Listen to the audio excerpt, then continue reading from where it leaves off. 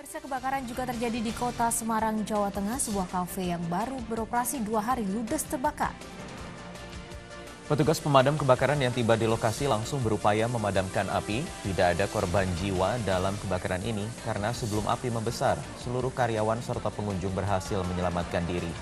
Menurut keterangan saksi, kebakaran terjadi sesaat setelah listrik di kafe itu padam. Tak lama berselang, tiba-tiba terjadi ledakan yang disertai percikan api dari bagian bara dan menjalar ke seluruh bangunan kafe. Dan akibat kejadian ini, pemilik kafe mengalami kerugian miliaran rupiah.